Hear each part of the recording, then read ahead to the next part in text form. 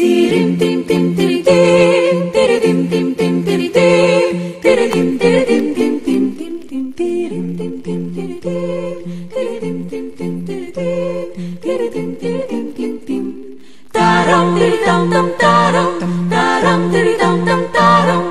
dum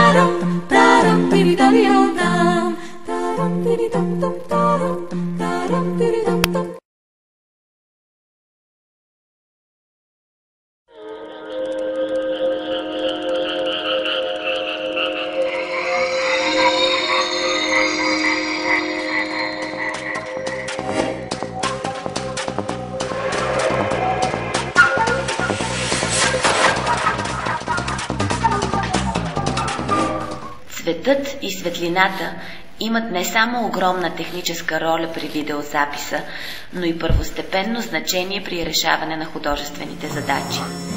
Още по времето на черно-бялата фотография започват безброй опити за откриване на цветната фотография. По време на черно-бялото кино има опити за използване на оцветяването на отделни кадри или сцени, за да бъде подчертано тяхното смислово значение, да изпъкне персонажа, да се изгради уникален мизанкадър.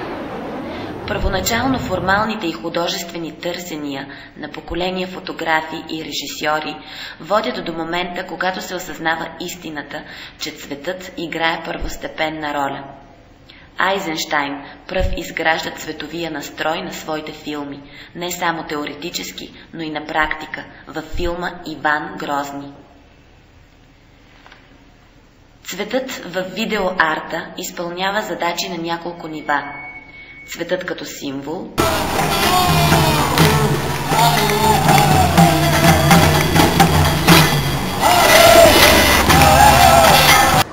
цветът като атмосфера, цветът като акцент, цветът като самостоятелен персонаж, цветът като проблем на зрителското виждане. От огромното количество видеоарт, създаден от 60-те години до наши дни, може да се направи изводът, че в него пътят от ахроматичното до цветното е бил дълъг, покрит с огорчения, изненади и художествени находки. Основната цел – художествената радикална провокация на зрителя – има своята цветна съставка. Тя се осмисля от българските артисти, както от техните самостоятелни художествени инвенции, така и от аналогиите на световното художествено развитие. I'm the best. I'm the best. I'm the best. I'm the best of the best. I'm the best. I'm the best. I'm the best. I'm the best. I'm the best. I'm the best.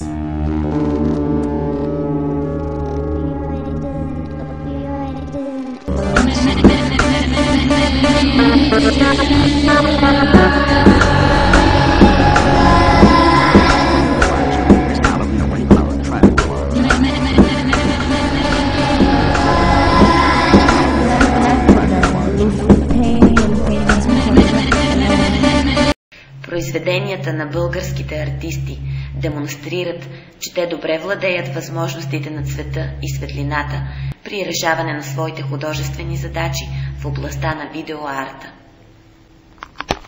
От друга страна, това поставя българския видеоарт като задачи и реализации на достойно място в развитието на световното видеоизкуство.